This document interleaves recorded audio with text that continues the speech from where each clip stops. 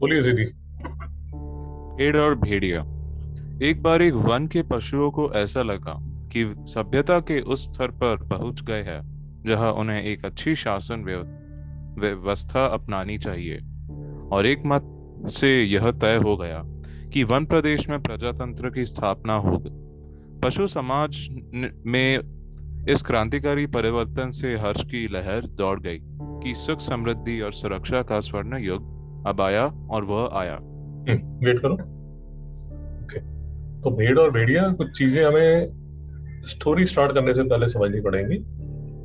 तो पहले तो सबसे बेसिक चीज़ जो भेड़ का मतलब क्या होता है? शीप और भेड़िए का मतलब क्या होता है? वुल्फ एक और कैरेक्टर इस स्टोरी के बीच में आएगा जिसका नाम है सीआर सीआर का मतलब क्या होगा? जैकॉल बेटा समझ आया? समझ आ रहा। भेड़ और भेड़िया जो स्टोरी है, वो लिखी किसने है? उनका स्टाइल क्या है? वो लिखा है यहाँ पर। अब स्टोरी लिखी है हरिशंकर परसाई जी ने। फिर से इनका जो जन्म है, वो हुआ है 1924 में। और 1995 में इनका निधन हो गया। So most probably he was productive between से बिटवीन 1945 मान लेते हैं 1945 से when he was around 20 years old he would have started writing and for the next 60 odd years 50 odd years he would have written अब इनके बारे में जो हमें समझना पड़ेगा वो ये है कि परसाई जी व्यंग्य लेखक हैं व्यंग्य का मतलब क्या हुआ सीपी एक्यूरेट बेटा व्यंग्य व्यंग्य हमारे लिए बड़ा इंपॉर्टेंट वर्ड है क्योंकि पूरी स्टोरी को समझने के लिए हमें इस वर्ड का मतलब समझना बड़ा ज़रूरी है कि व्यंग्य का मतलब क्या होता है। व्यंग्य का मतलब हाँ बोलो बोलो। व्यंग्य क्या मतलब? ह्यूमर यस आप व्यंग्य को कॉमेडी बोल सकते हो लूजली आप व्यंग्य को लूजली ह्यूमर बोल सकते हो बट उसका जो one thing that we need to understand है कि इस स्टोरी में व्यंग्य का मतलब ये है ताना मारना। नहीं समझ में आया। टू टॉन्ट समझ समझ हमारे लिए इस स्टोरी में व्यंग्य का जो मतलब है वो है वो है ताना मारना। ताना मारना मतलब टू टॉन्ट व्यंग्य का मतलब हँसी उड़ाना भी होता है व्यंग्य का मतलब चुटकी लेना भी होता है। बट ये जो स्टाइल है ये जो स्टोरी लिखने का जो स्टाइल है ये पूरी जो स्टोरी है और खासकर जो ऑथर भी हैं, हरिशंकर परसाई जी, जो ऑथर भी हैं, उनका भी यही स्टाइल है। तो अगर हम ये लाइन पढ़ेंगे, इन्होंने सामाजिक और राजनैतिक जीवन में व्याप्त भ्रष्टाचार और शोषण पर करारा एवं सटीक व्यंग्य किया है। अब इसको अगर हम ध्यान से पढ़ते हैं तो मतलब ये हुआ, सामाजिक और राजनैतिक का मतलब ये हुआ, सामाजिक मतलब सोशल नोट कर लो बेटा। जी। सामाजिक मतलब सोशल और राजनैतिक मतलब पॉलिटिकल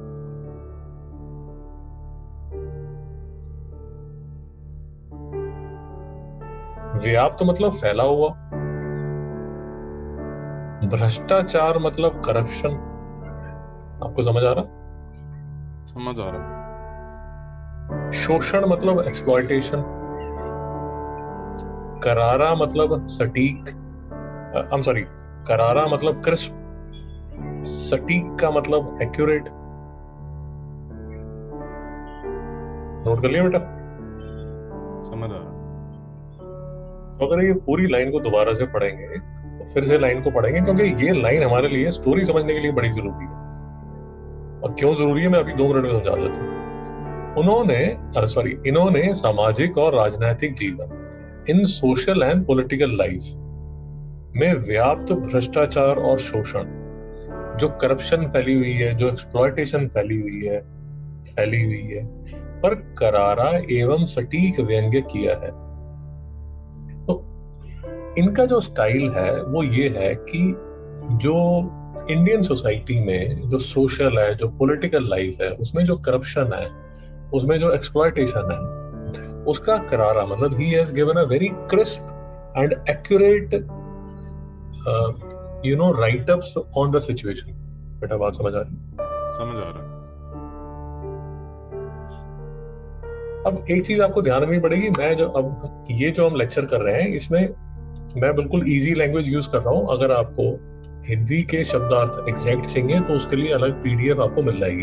ये सारे के सारे पाँच पेज की पीडीएफ है। इसमें आपको मोस्टली हिंदी के हिंदी मीनिंग होंगे। मैं जो ये लेक्चर ले रहा हूँ इसमें मैं जो कॉमन लैंग्वेज जो इंग्लिश लैंग्वेज जिसमें आपको जल्दी समझ आ जाए उसमें समझाने की कोशिश कर रहा हूँ। बेटा समझ आ रहा ये सारे जो वर्ड्स मीनिंग है आपने लिखने हैं। आपके लिए ज़रूरी है।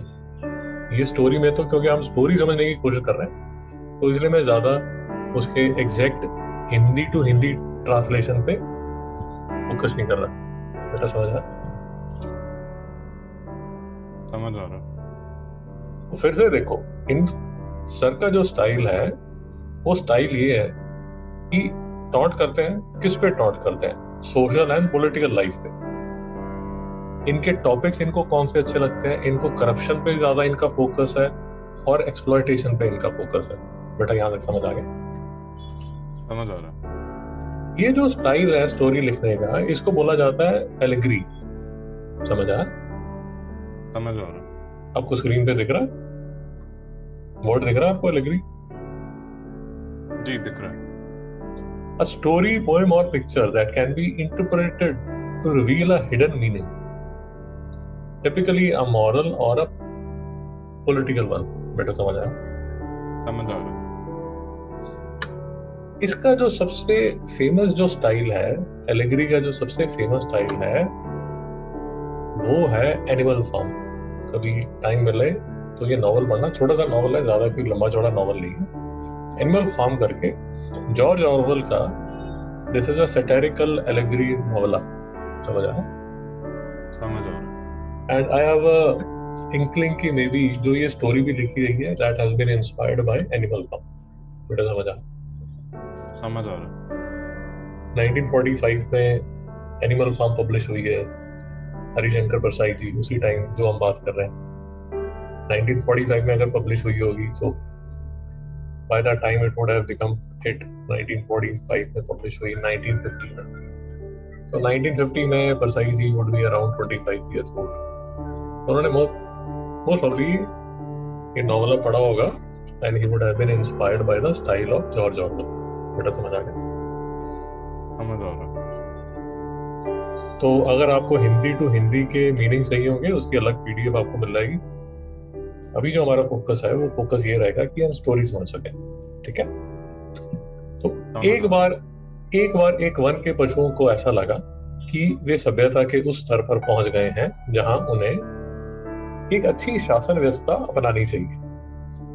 तो सभ्यता मतलब सिविलाइजेशन स्तर मतलब लेवल शासन व्यवस्था मतलब एडमिनिस्ट्रेशन अपनानी चाहिए।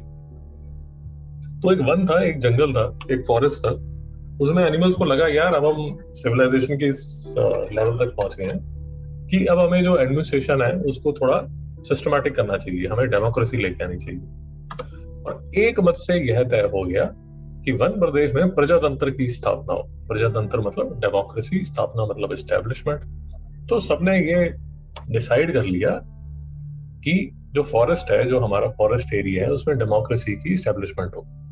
अब डेमोक्रेसी है तो मतलब डेमोक्रेसी का मतलब ये हुआ कि इलेक्शंस होंगे और इलेक्शंस में रिप्रेजेंटेटिव्स बनेंगे और जो रिप्रेजेंटेटिव्स हैं, जैसे इंडिया में है, वो जो रिप्रेजेंटेटिव्स हैं they will make rules and regulations for the citizens पशु समाज में इस क्रांतिकारी परिवर्तन से हर्ष की लहर दौड़ गई और सुख समृद्धि और सुरक्षा का स्वर्ण युग अब आया और वह आया। तो इस लाइन को समझते हैं, पशु समाज समाज मतलब सोसाइटी क्रांतिकारी मतलब रेवोल्यूशनरी परिवर्तन मतलब चेंज लहर मतलब वेव समृद्धि मतलब प्रॉस्पेरिटी सुरक्षा मतलब सेफ्टी स्वर्ण युग युग मतलब गोल्डन एज तो एनिमल्स की जो सोसाइटी है, उसमें दे आर वेरी हैप्पी कि यार अब तो मतलब सब कुछ एकदम ज़बरदस्त होने वाला है golden age of safety and prosperity आने वाली है. So this is a revolutionary change which is happening so this everybody is very happy बेटा यहाँ तक समझ आ गया? समझ आ रहा ओके। अब आगे आगे बोलो जिस वन। जिस वन प्रदेश में हमारी कहानी ने चरण धरे हैं उसमें भीड़े बहुत ही निहायत नेक ईमानदार कोमल वही दयालु निर्दोष पशु जो घास तक को फूक फूक कर खाता है। भेड़ों ने सोचा कि अब हमारा भय दूर हो जाएगा। हम अपने प्रतिनिधियों से कानून बनवाएँगे कि कोई जीवधारी किसी को न सताए, न मारे। सब जिए और जीने दे। शांति, स्नेह, बंधुत्व और सहयोग पर समाज आधारित हो। इधर भेड़ियों ने सोचा कि हमारा अब संकट काल आया। भेड़ों की संख्या इतनी अधिक है कि पंचायत में उनका ही बहुमत होगा। और अगर उन्होंने कानून बनाया, बना दिया कि कोई पशु किसी को न मारे तो हम क्या खाएँगे? क्या हमें घास चरना सीखना पड़ेगा? तो जिस वन प्रदेश में हमारी कहानी ने चरण धरे हैं, चरण धरे हैं मतलब जहाँ हमारी स्टोरी ने पैर रखे हैं तो लेखक का स्टाइल है।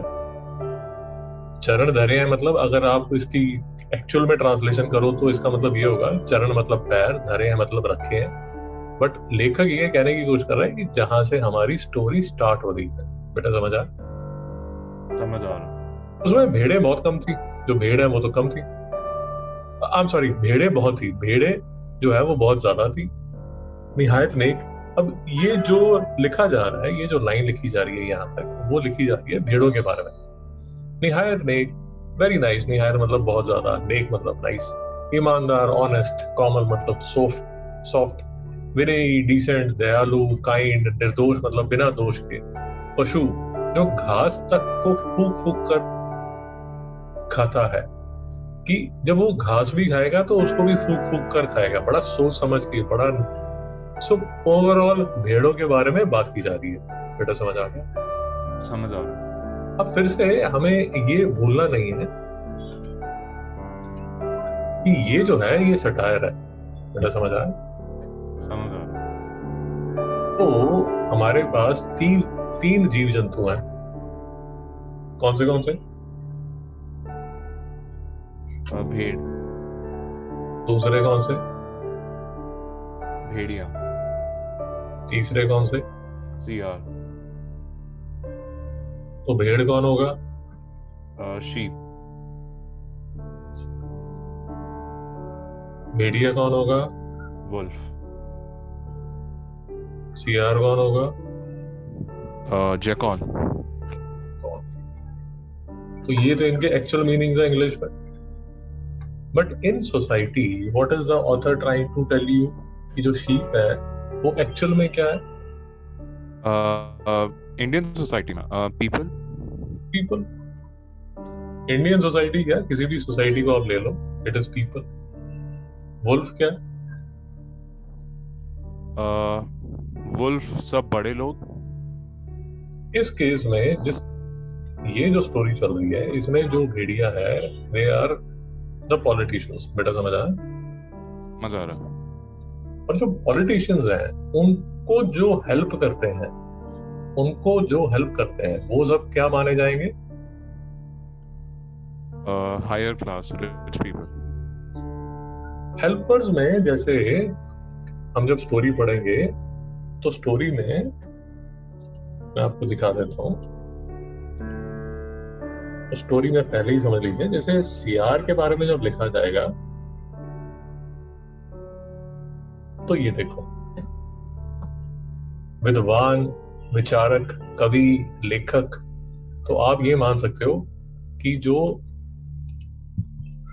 ऐसे बोल देते हैं, जो थिंकर्स हैं, जो ऑथर्स हैं जो राइटर्स हैं, जो पोएट्स हैं, ये तो फ़र्स्ट कैटेगरी लेखक ने बोला। दूसरी कैटेगरी ऑफ़ पीपल जो लेखक ने बोला है, वो कौन है? नेता और पत्रकार। नेता और पत्रकार। मतलब दूसरे पॉलिटिशियंस जो हैं पॉलिटिशियंस जो हैं, और पत्रकार पत्रकार मतलब जर्नलिस्ट और तीसरी कैटेगरी के जो लोग जो लेखक जिनको सीआर बोलने वाला है वो कौन है? धर्मगुरु। बेटा समझ आया धर्म गुरु गुरु मतलब रिलीजियस पीपल तो अब सिचुएशन ये है कि जब हम इसको पढ़ेंगे जब हम स्टोरी को पढ़ेंगे so will always keep this in mind कि हाँ, जो ऑथर है वो भेड़ किसको बोल रहा है? बोलो बेटा।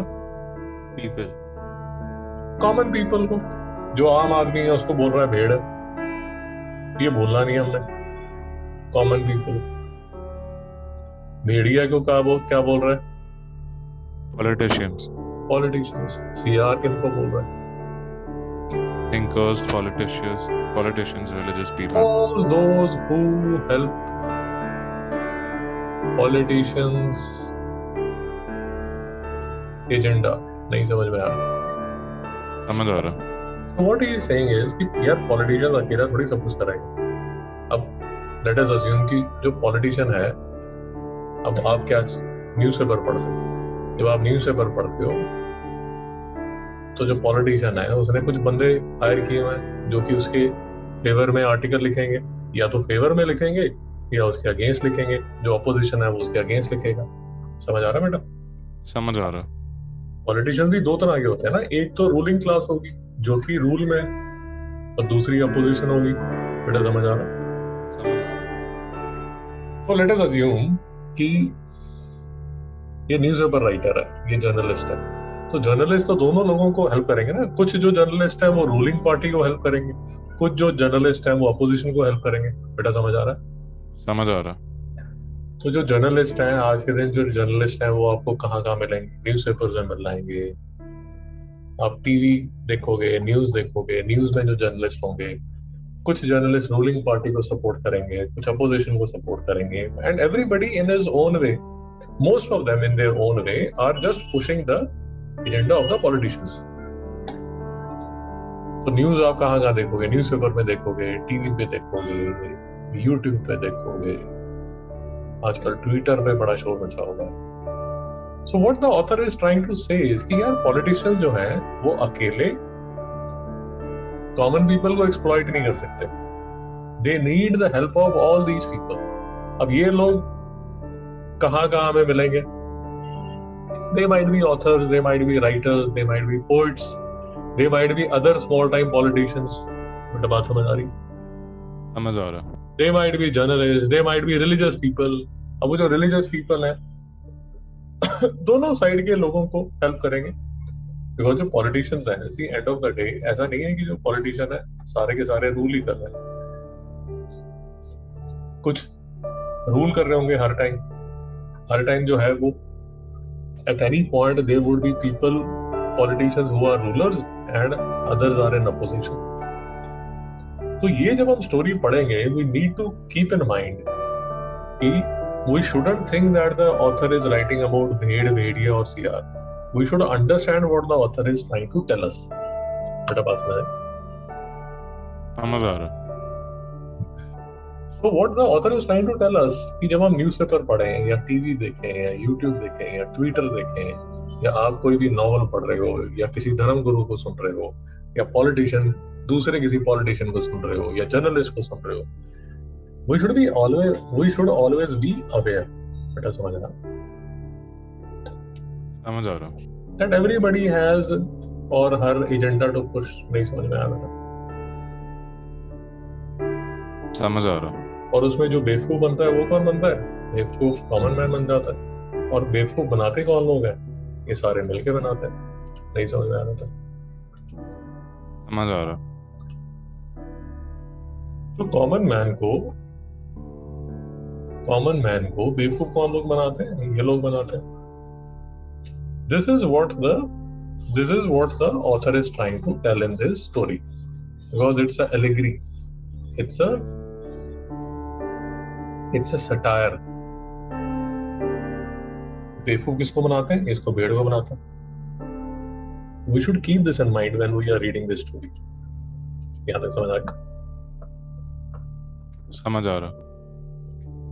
तो ये उसने कॉमन मैन को यहाँ डिस्क्राइब कर दिया कि सर जो कॉमन मैन है वो तो बहुत एवरेज मैन तो हर कोई नाइस होता है डिसेंट होता है कोई कैसे शोर शराबा नहीं कर रहा। निर्दोष जाके जाके जान के लोगों को तंग नहीं कर रहा घास तक को फूक फूक कर खाता है। हर काम जो है वो बड़ा डिसीज़न से लेता है। भेड़ों ने सोचा कि अब हमारा भय दूर हो जाएगा। तो भेड़ है। अब फॉरेस्ट में जो भेड़ है वो ज़्यादा है वो बोलते हैं, यार, हमारा डर जो है वो खत्म हो जाएगा। हम अपने प्रतिनिधियों से कानून बनवाएँगे। प्रतिनिधि मतलब रिप्रेजेंटेटिव हमारे जो भी रिप्रेजेंटेटिव होंगे, हम उनसे कानून मतलब लॉ हम उनसे लॉ बनवाएँगे। कि कोई जीवधारी किसी को ना सताए, ना मारे। So they are very idealistic जैसे कि यार हम ऐसे रूल्स बनाएँगे कि कोई भी जो लिविंग बींग है वो दूसरों को तंग ना करे। सब जिए और जीने, सब जिए और जीने दें। शांति, स्नेह, बंधुत्व और सहयोग पर समाज आधारित हो। आधारित मतलब बेस्ड समाज मतलब सोसाइटी सहयोग मतलब कोऑपरेशन बंधुत्व मतलब ब्रदरहुड तो पीस होगा लव होगा ब्रदरहुड होगा कोऑपरेशन होगी। और ये सब चीज़ों पे जो सोसाइटी है वो आधारित होगी। बेटा समझ आया समझ आ रहा। मतलब जैसे मतलब अपनी ये नहीं फ्रेंच रेवोल्यूशन तो ऐसे मान लो कि फ्रेंच रेवोल्यूशन होगी। अब फ्रेंच रेवोल्यूशन में क्या थे वो? तीन पैरामीटर्स क्या थे? याद है? फ़र्स्ट क्लास था सेकंड क्लास था थर्ड क्लास था। बेटा वो क्या था? फ्रेटर्निटी तीन चीज़ें थी ना। फ्रेटर्निटी लिबर्टी फ्रेटर्निटी और इक्वालिटी आई थिंक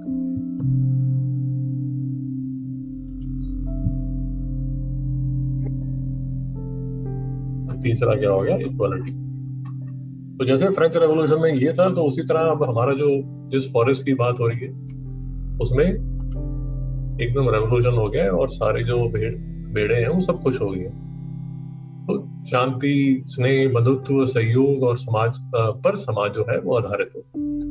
इधर भेड़ियों ने सोचा कि अब हमारा संकट काल आ गया, यार हमारे लिए तो बड़ी प्रॉब्लम आ गई। भेड़ों की संख्या इतनी अधिक है कि पंचायत में उनका ही बहुमत होगा। बड़ा ऑब्वियस ही चीज़ है कि अगर आप डेमोक्रेसी लेके आ रहे हो तो डेमोक्रेसी में क्या होगा? डेमोक्रेसी में इलेक्शन होंगे। जब डेमोक्रेसी में इलेक्शन होंगे तो हर किसी को वोट मिलेगी। जब वोट मिलेगी तो मेजोरिटी अगर शीप है तो जो शीप है उनको ज़्यादा उनके पास ज़्यादा वोट होगी। तो जो रिप्रेजेंटेटिव है वो भी किसका होगा? शीप का। बेटा समझ आया? समझ आ रहा। और अगर वो शीप का रिप्रेजेंटेटिव हो गया तो वो तो पहले दिन ही जाके रूल बना देगा कि कोई पशु किसी को ना मारे। और अगर ऐसा हो जाता है तो जो भेड़िया वो खाएगा किसको? बेटा समझ आ रहा? समझ आ रहा। और जैसे ये लाइन आपसे पूछी जा सकती है क्या हमें घास चरना सीखना पड़ेगा? अब वो कहता है यार अगर हम दूध शीप को खाएँगे नहीं तो फिर हम क्या करेंगे? घास करेंगे खाएँगे? नहीं समझ आया बेटा। समझ आ रहा। क्या? आगे बढ़ो। ज्यो ज्यो चुनाव समीप आता भेड़ों का उल्लास बढ़ता जाता। ज्यो ज्यो चुनाव समीप आता भेड़ियों का दिल बैठता जाता। एक दिन बुढ़े सियार ने भेड़ियों से कहा मालिक आजकल आप बड़े उदास रहते हैं। हर भेड़िए के आसपास दो चार शियार रहते ही है। जब भेड़िया अपना शिकार खा लेते हैं तब वे सियार हड्डियों में लगे मांस को कुतर कर खाते हैं और हड्डियाँ चूसते रहते हैं। वे भेड़ियों के आसपास दुम हिलाते चलते हैं उसकी सेवा करते हैं और मौके बेमौके हुआ हुआ चिल्लाकर उसकी जय बोलते हैं। समझ आ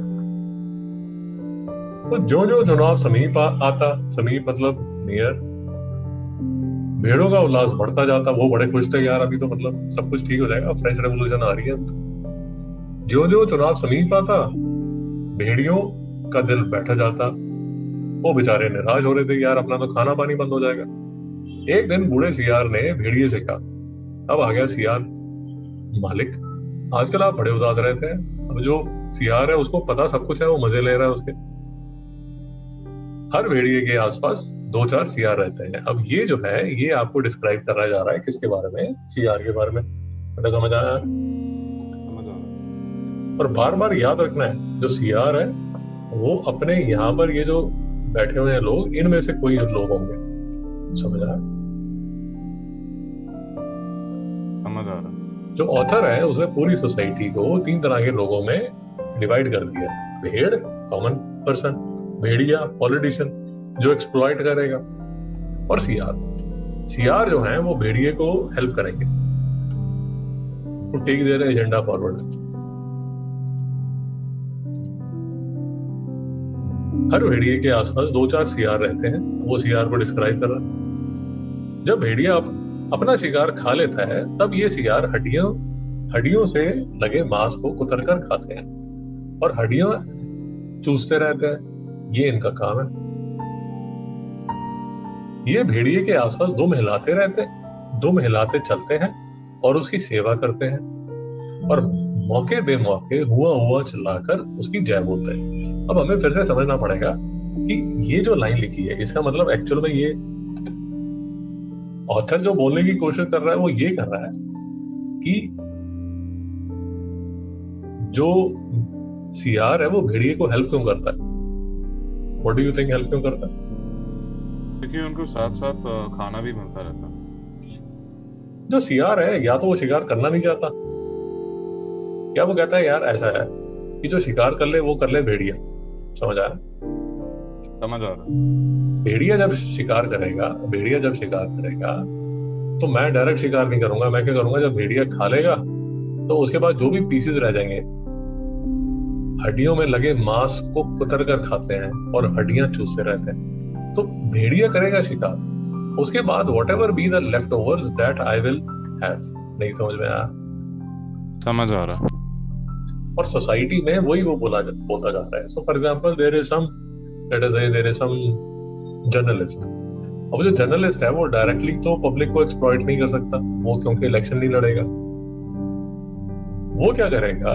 पॉलिटिशियन को आगे करेगा और पॉलिटिशियन शिकार करेगा। और वो जो जर्नलिस्ट है वो जो लेफ़्ट ओवर है जो whatever riches are there वो उसके साथ वो शेयर कर देगा। बेटा समझ आ समझ आ रहा तो बेसिकली जो सीआर का काम है he is a sort of agent for agent for the भेड़िया। समझ आ समझ आ रहा करते क्या ये करते क्या ये भेड़िए के आसपास दो मिलाते चलते हैं उनकी सेवा करते हैं। और मौके पे मौके हुआ हुआ चिल्लाकर उनकी जय बोलते हैं। तो इनका काम है कि यार इनका जो पॉलिटिशियंस हैं उनकी हेल्प करना। उनका एजेंडा आगे पुश करते रहना और उनके साथ दुआ सलाम करना। बेटा समझ आया?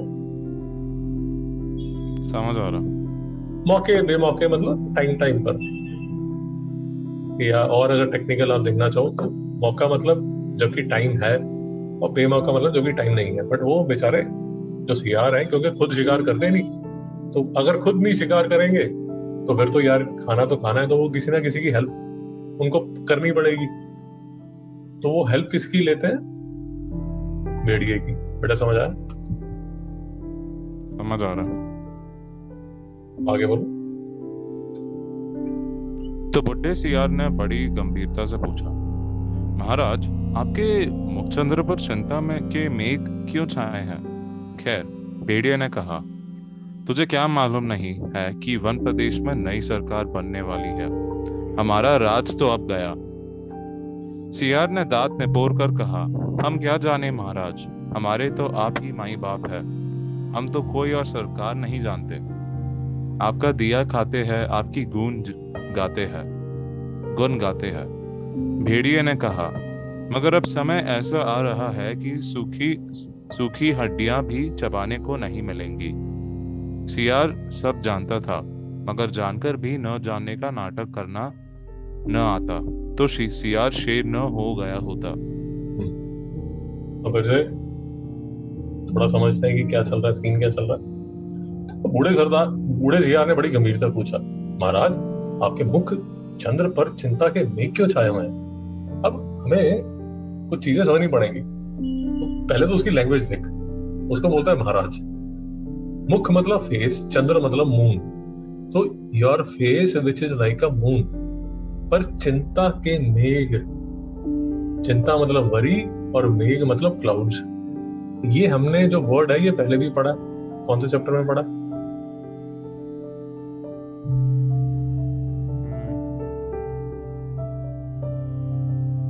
अच्छा ये हमने उस पर भी पढ़ा था बहू के विधा बहू की विधा में पढ़ा था ना? जी। कमला के बारे में। जी जी। तब भी कुछ ऐसा ही डिस्क्रिप्शन था कमला का? जी face of the moon was dark and shadow या सच यस कमला के बारे में भी ऐसे लिखा गया कि कमला का जो चाँद का जैसा मुखड़ा है उसमें घटा छाई हुई है। काला हुआ पड़ा। नहीं समझ रहा आया। उस टाइम भी हमने बात की थी ना कि मून के सामने जब ब्लैक क्लाउड्स आ जाते हैं तो मून कितना सुंदर है और it is covered by black clouds, उसकी जो ब्यूटी है, वो छुप जाती है। तो उसके वर्ड्स कितने सही वर्ड्स करता है? गंभीरता मतलब सीरियसनेस यार भेड़िया ने कहा, तुझे मालूम नहीं है? अब भेड़िया और चिढ़ जाता है कि ये नाटक कर रहा है। कि वन प्रदेश में नई सरकार बनने वाली है, हमारा राज सौंप गया सीआर ने दांत निपोर कर कहा, अब ये दांत निपोरना ये इंपॉर्टेंट है, इसका मतलब नोट कर लेना, चापलूसी गिड़गिड़ाना बेटा समझ आया?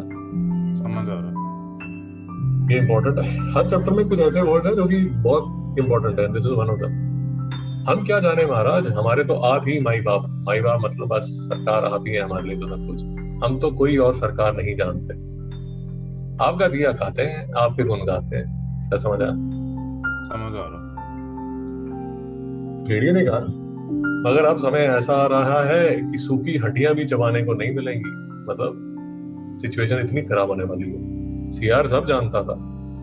मगर जानकर भी ना जानने का नाटक करना ना आता तो सीआर शेर ना हो गया होता। अब ये जो लाइन है फिर से इंपॉर्टेंट है इस चैप्टर के लिए। बेटा समझ में आया? समझ आ रहा see one thing that you need to understand is ये शिकार तो शेर भी करता है। मेरी बात समझ आए समझ आ रहा So, for example, so for example, जो शेर है वो भी शिकार करता है। बट क्या वो शेर जो है उसको सीआर की हेल्प की ज़रूरत पड़ती है? नहीं। तो भेड़िया सीआर की हेल्प क्यों लेता है? आ, क्यों ताकि वो मतलब अपना मतलब the CR acts as a servant to the wolf मदद करता है। स्प्रेड्स हिज प्रेजेस एक्सेट्रा यार शेर खुद ही इतना स्ट्रांग है। शेर खुद ही इतना स्ट्रांग है। उसको ये आंडू पांडू की ज़रूरत ही नहीं किसी सीआर वगैरह की। वो खुद ही उसको पकड़ लेता है। जिसको उसने पकड़ना हो he doesn't require any hangers on नहीं समझ में आया समझ आ रहा। यार सोसाइटी में ही। Is talking about the society अब सोसाइटी में मोस्टली जो है आदमी वो तो सारे आ जाते हैं भेड़ की कैटेगरी में बेटा नहीं समझ आया समझ आ रहा। तो ये तो बनेंगे एक्सप्लॉइटेशन के लिए इन्होंने बेचारों ने क्या करना है? नहीं समझ में आया समझ आ रहा। अब जो एक्सप्लॉइट करने वाले हैं वो है कम। अब उसमें भी कैटेगरीज है। उसमें कैटेगरीज एक तो होगी किसकी? भेड़िए की। एक होगी सीआर की। बेटा नहीं समझ में आया समझ आ रहा। और यहाँ पर है लायंस अब ये दोनों इन दोनों को तो आपस की इन दोनों को आपस में एक दूसरे की ज़रूरत है। ये लायन को किसी की ज़रूरत नहीं है। नहीं समझ में आया समझ आ रहा। So what do you think in the society? What can be a lion? आ, मतलब जो जो खुद ही भेड़ों का शिकार कर लेता है उसको ये सब इनकी ज़रूरत नहीं है। तो बिलियनर्स मतलब कॉर्पोरेट हेड्स कॉर्पोरेट करेक्ट बिल्कुल ठीक मतलब जैसे मुकेश अंबानी जुकरबर्ग ले ले। इंडिया में अंबानी ले ले। Of course they help and this and that वो सब तो है ही है बट द पॉइंट इज़ तेरा जेफ बेजोस ले ले ये शिकार है ये शिकार है। ये जो है ये डायरेक्ट शिकार करते हैं इनको किसी की ज़रूरत नहीं है। बेटा समझ आ रहा समझ आ रहा So it's that is why this is such a famous story and that is why it is being taught. So that you can see कि what happens in the society. तो यहाँ वो ये कह रहा है कि मगर जानकर भी ना जानने का नाटक करना ना आता तो सियार शेर ना हो गया होता। ये इंपॉर्टेंट बहुत है। तो जो सियार है अगर इतना ही अगर इतना चापलूस ना होता उसको शेर बनना पड़ता ना उसको खुद जाके शिकार करना पड़ता। बेटा समझ आया? समझ आ रहा बोलिए आखिर भेड़िए आखिर भेड़िए ने वन प्रदेश की पंचायत के चुनाव की बात बुड्ढे सियार को समझाई और बड़े गिर गिरे मन से कहा। चुनाव अब पास आता जा रहा है। अब यहाँ से भागने के सिवा कोई चारा नहीं। पर जाए भी कहाँ? सियार ने कहा मालिक सर्कस में भर्ती हो जाइए। भेड़िए ने कहा अरे वहाँ भी शेर और रीछ को तो ले लेते हैं। पर हम इतने बदनाम हैं कि हमें वही भी वहाँ भी कोई नहीं पूछता। तो सियार ने खूब सोचकर कहा "आ, अजायब घर में चले जाइए जाइए। भेड़िए ने कहा, अरे, वहाँ भी जगह नहीं है, सुना है। वहाँ तो आदमी रखे जाने लगे हैं। बुढ़े सियार अब ध्यान मग्न हो गया। उसने एक आँख बंद की, नीचे के होंठ को ऊपर के दांत से दबाया और एकटक आकाश की तरफ़ देखने लगा। फिर बोला, बस सब समझ में आ गया। मालिक, अगर पंचायत में आप भेड़िया जाति का बहुमत हो जाए तो? समझ आया समझ आ रहा क्या मतलब वो ये पूरे पैरास के। हाँ क्या अंडरस्टैंडिंग है? इसमें मतलब जैसे जो वुल्फ है ही इज़ रियली वरीड कि क्योंकि ही इज़ वरीड बिकॉज़ जो शीप है they they are very popular मतलब। पॉपुलर मतलब दे उनका जो पॉपुलेशन रेट है बहुत ज़्यादा है। Is majority- natural to majority- so मतलब it is natural to assume कि वो ही जीत जाएँगे। और अगर वो जीत जाएँगे so well they will implement laws जहाँ पर you can not hunt so wolf का फ़ूड प्रोड्यूस वो बंद ही हो जाएगा। He is worried about that yes और फिर the wolf has another issue कि if they become the leaders so where will the wolf go so फिर द सीआर ऑफ़र सजेशंस कि you could go to the circus और somewhere else but the wolf keeps on denying them and gives reason of price thanks तो अब देखिए, अगर भेड़िए ने one प्रदेश की पंचायत के चुनाव की बात बूढ़े सियार को समझाई और बड़े गिरे मन से कहा, मन बैठ जाना, गिरे मन से, गिरे मन सेम चीज़ है, निराशा से। चुनाव अब पास आता जा रहा है। अब यहाँ से भागने के सिवा कोई चारा नहीं है, पर जाए भी कहाँ? मतलब कहाँ जाएँगे यार? ये फॉरेस्ट को जाके किसी दूसरे फॉरेस्ट में जाएँगे, वहाँ भी यही सब चल रहा होगा। तो सियार ने बोला, मालिक सर्कस में मरते हुए जाएँगे अब जो सियार है वो मज़े ले रहा है उसके समझ आई?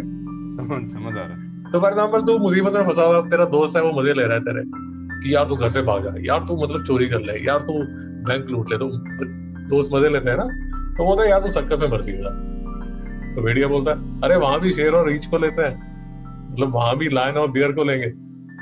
हम इतने बदनाम है वी आर सो इनफेमस कि हमें वहाँ पर भी कोई नहीं पूछता तो सियार ने खूब सोच कर बोला, अब पूरे मज़े ले रहा अजायब घर चले जाइए, अजायब घर मतलब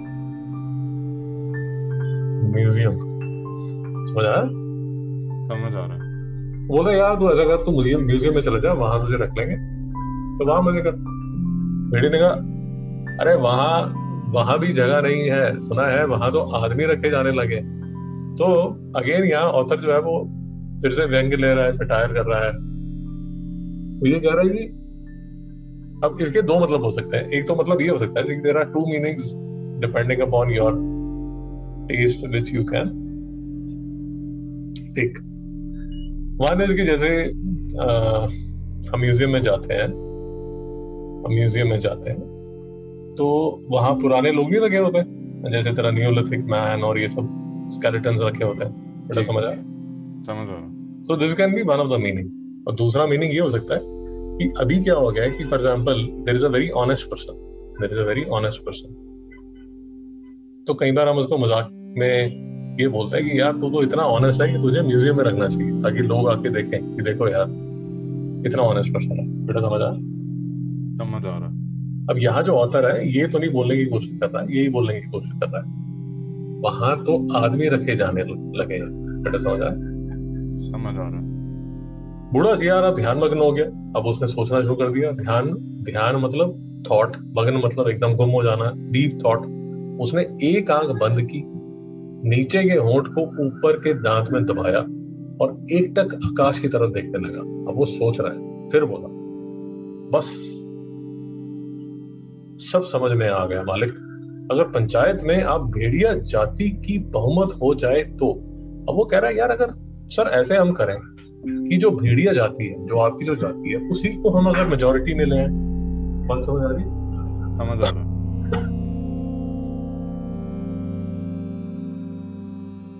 तो बोलो। भेड़िया चिड़ चिड़कर बोला। भेड़िया चढ़कर बोला। कहाँ की आसमानी बाता कर, बातों करता है? अरे हमारी जाति कुल दस फ़ीसदी है और भेड़े तथा अन्य छोटे पशु नब्बे फ़ीसदी है। भला वे हमें काहे को चुनेंगे? अरे कहीं ज़िंदगी अपने को मौत के हाथ सौंप सकती है? मगर हाँ, ऐसा हो सकता तो क्या बात थी? बुढ़े सियार बोला, आप खिन्न मत होइए सरकार, एक दिन का समय दीजिए, कल तक कोई योजना बन ही जाएगी, मगर एक बात है, आपको मेरे कहे अनुसार कार्य करना ही पड़ेगा। मुसीबत में फंसे भेड़िए ने आखिर सियार को अपना गुरु गुरु माना और आज्ञा पालन की शपथ ली। तो भेड़िया चढ़ गया। कहाँ की आसमानी बातें करता है? अब ये भी बड़ी फनी सी लाइन है if you try to understand see जो सियार है वो आसमान की तरफ़ देख रहा है। समझ आया? समझ आ और नीचे जो भेड़िया है वो बोलता है कहाँ की आसमानी बातें करता है? आसमानी बातें मतलब बजूल की बातें। नहीं समझ में आया? समझ आ रहा कई बार हम बोलते हैं ना यार हाउ डू वी से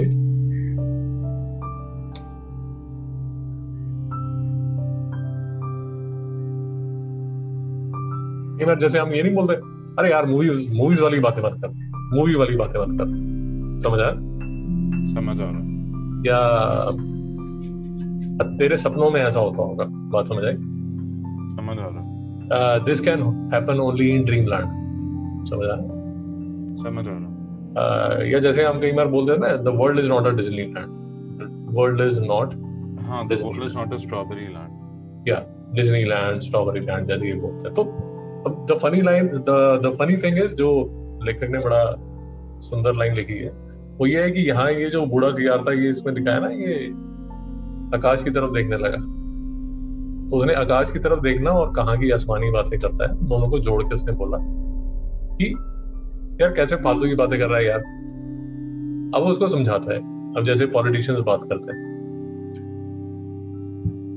अरे, हमारी जाति हमारी जाति कुल दस फ़ीसदी है। हम जो है वो टेन परसेंट है। और भेड़े तथा अन्य छोटे पशु नाइन्टी परसेंट तो हमारी कहाँ से मेजोरिटी हो जाएगी? बेटा समझा समझ आ रहा मतलब वो क्यों हमें चुनाएँगे? Why will they elect us अब ये लाइन फिर से बड़ी सुंदर है जो फिर से इंपॉर्टेंट है। अरे कहीं ज़िंदगी अपने को मौत के हाथ सौंप सकती है? इसका मतलब क्या हुआ?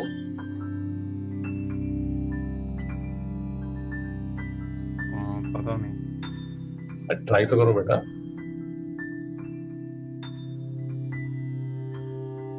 जो लाइफ है ज़िंदगी मतलब लाइफ मौत मतलब डेथ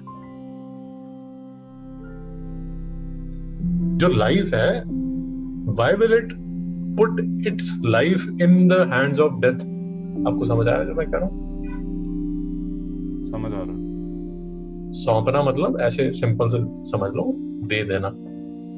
जो लाइफ है वो क्या कभी मौत के हाथ में जाके बैठेगी? आपको समझ रहा समझ आ रहा अब इस केस में जब वो कह रहा है बात समझने की कोशिश करो। वो बोलता है यार हम टेन परसेंट है। जो शीप है वो नाइन्टी परसेंट है। तू बोल रहा है कि हम मेजोरिटी में आ जाएँगे। So what are you trying to tell us कि शीप हमें सपोर्ट करेंगे? मेरी बात समझ आई बेटा? समझ आ रहा जो शीप है जब तक शीप हमें सपोर्ट नहीं करेगी तो हम मेजोरिटी में कैसे आ जाएँगे? नहीं समझ आया? समझ आ रहा पर तभी वो उसको बोल रहा है कि कभी बड़ी अच्छी लाइन लिखी है उसने। कहीं ज़िंदगी अपने को मौत के हाथ सौंप सकती है जो लाइफ है वो खुद जाके डेथ के पास जाना चाहती है कभी नहीं जाना चाहती। तो शीप जो है वो यार हमें क्यों चूज़ करेंगे? पागल हो गया क्या तुम आसमानी बातें कर रहा बेटा बात समझ आई? समझ आ रहा। बूढ़ा सियार बोला आप खिन मत होइए सरकार आप उदास मत होइए मैं कोई ना कोई जुगाड़ निकालता हूँ आप वेट कीजिए। एक दिन का समय दीजिए कल तक कोई योजना योजना मतलब प्लान बन ही जाएगा मगर एक बात आपको मेरे कहे अनुसार कार्य करना पड़ेगा। जो मैं बोलूँगा आपको वैसे ही करना है।